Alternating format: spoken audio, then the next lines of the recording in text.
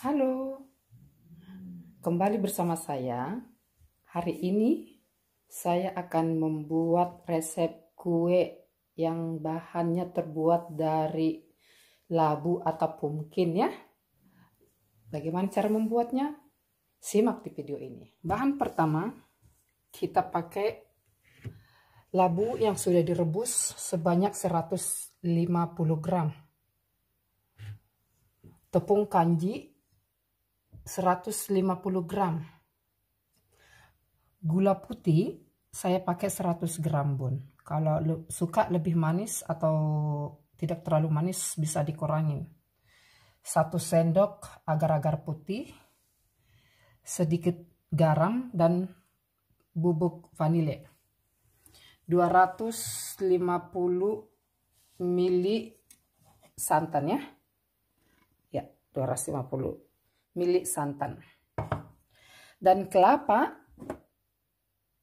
yang sudah dicampur dengan garam dan vanili akan dikukus beberapa menit atau sampai matangnya. Pertama-tama kita akan menyediakan loyang yang sudah terlebih dahulu diolesin dengan air uh, minyak kelapa ini dia. Dan akan kita kukus sebentar dan kukusan ini yang sudah dihangatkan terlebih dahulu ya. Ini dia. Yang sudah dihangatkan terlebih dahulu supaya kuenya nanti jika sudah di mulai dikukus uh, tidak terlalu lama dan tidak lengket. Pertama kita akan uh, cara membuatnya santan garam dan vanili agar-agar. Agar-agar putih. Gula. Ini dia. Masukkan. Dan sebentar ya bun. Dan pumpkin atau labu yang sudah dikukus tadi. Ini dia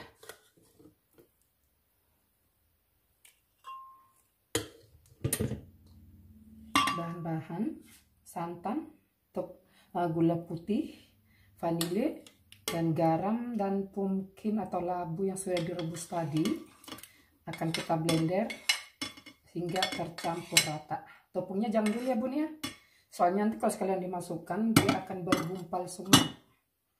Kita akan blender terlebih dahulu bahan-bahannya. Ini dia.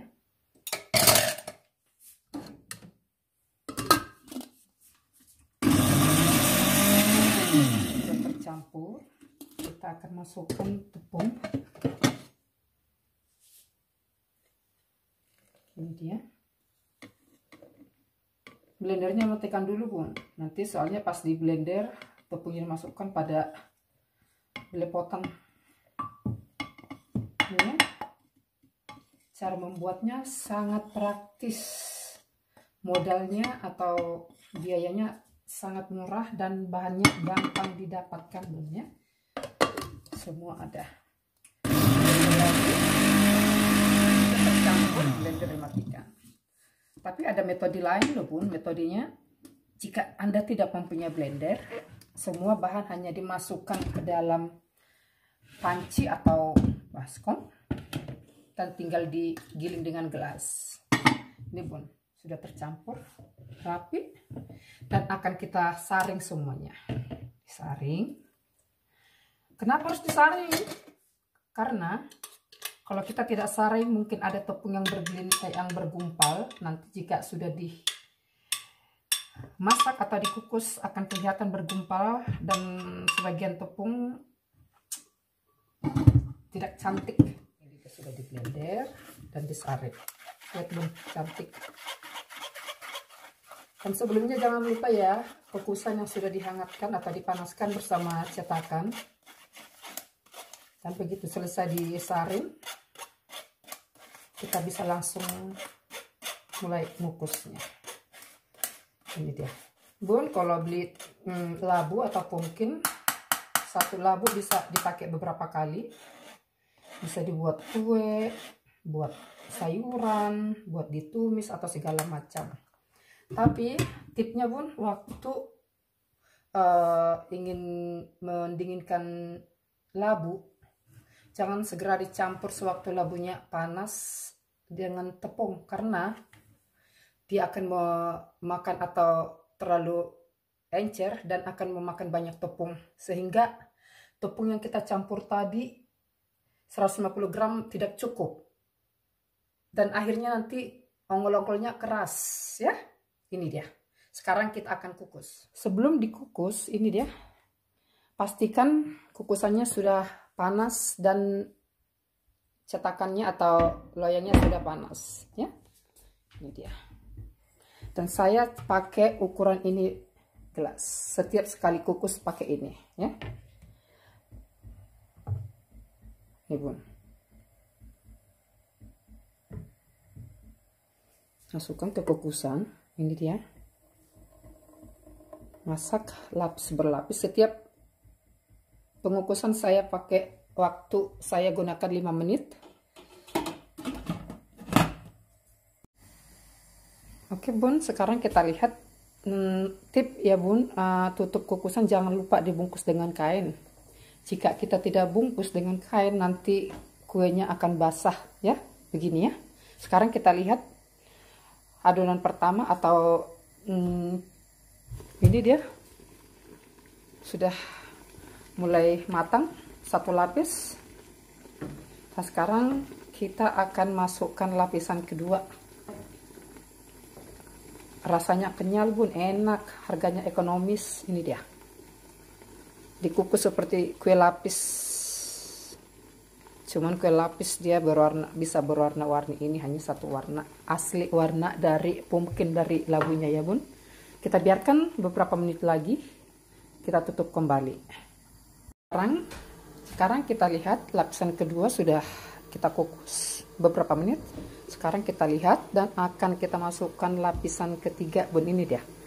Sekarang lapisan ketiga. Ini dia lapisan ketiga kukus beberapa menit lagi.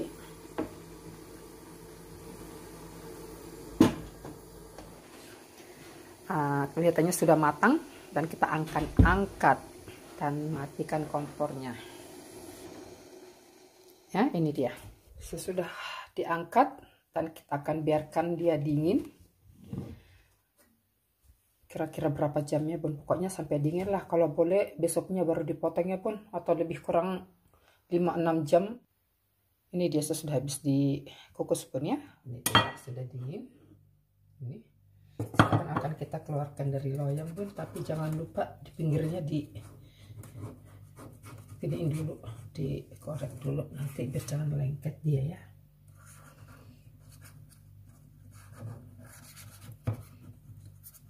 Kalau sudah dingin nanti eh, kalau kita potong waktu panas dan tidak akan cantik waktu dipotong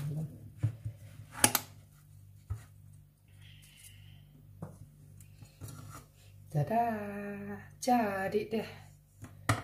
Cakep ya.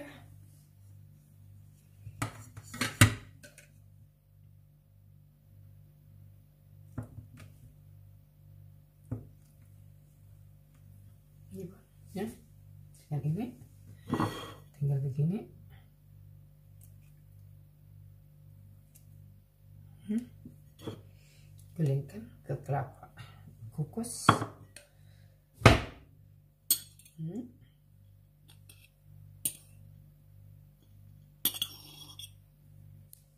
Ya bu apalagi sekarang mau buka puasa ya. Buat berbuka buat minum kopi buat kalau ada tamu. Ya pokoknya hanya diminum dimakan begitu saja.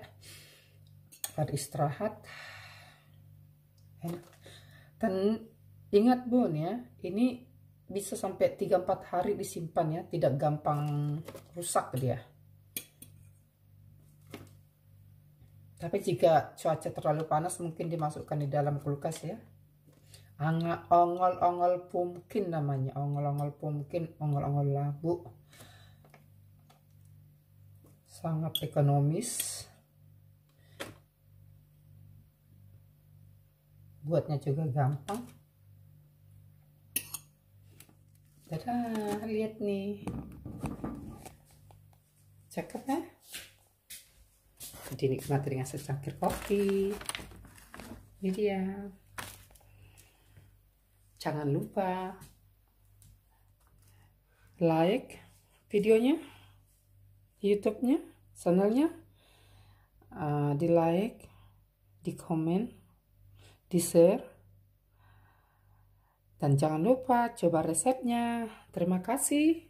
Sampai bertemu kembali. Dah